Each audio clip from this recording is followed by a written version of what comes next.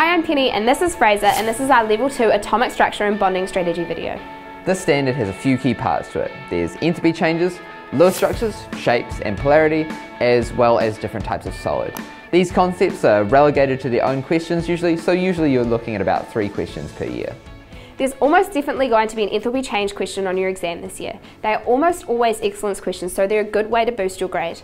You'll get a table like this, and you have what you have to do is you have to calculate the enthalpy change of a reaction. So what you do is you calculate the enthalpy change on one side of the reaction and you subtract it from the other. So it's reactants minus products. Bonds broken minus bonds formed.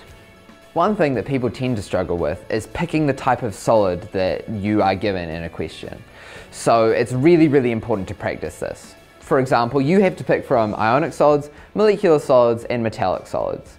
So one way to think about it is where things are in the periodic table. So if you see something that's made up of elements entirely from the right hand side of the periodic table, it's probably a molecular solid you will be familiar from level one acids and bases with your table of ions. So if you see something with uh, made up of two separate ions, like a positive ion and a negative ion, that's definitely an ionic solid.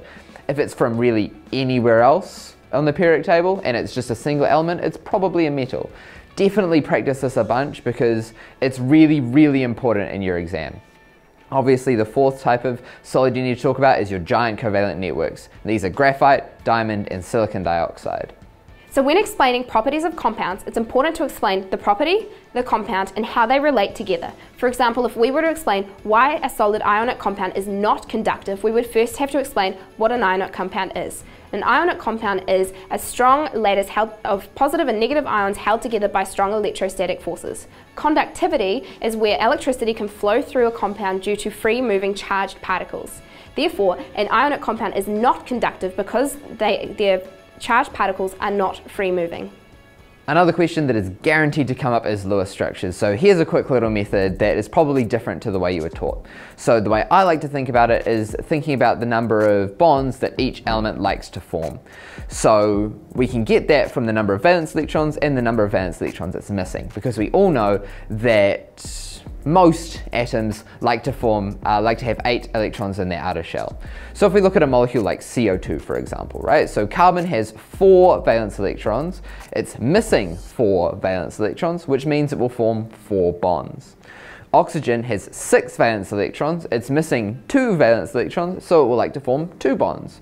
So if we put everything together, we have a carbon that likes to form four bonds and two oxygens that each like to form two bonds. Well, from there, it's pretty easy to see that the carbon's going to be in the middle because it needs to form the most bonds, and each oxygen is going to be doubly bonded to that central carbon so that everything is satisfied. One thing to remember with Lewis structures is to always draw your lone pairs on the Lewis structures or else you will not be marked correct. There are a few exceptions to that rule, by the way. Um, beryllium only forms two bonds and boron forms three bonds. This exam is a pretty predictable one because pretty much everything is guaranteed to show up each year. Therefore, past exams are going to be a really, really good resource for you this year. While we've covered a lot of strategies today, we haven't covered everything. So it's important for you guys to also check out the study time walkthrough guides to make sure that you ace this exam. Thanks for watching and good luck for your exam.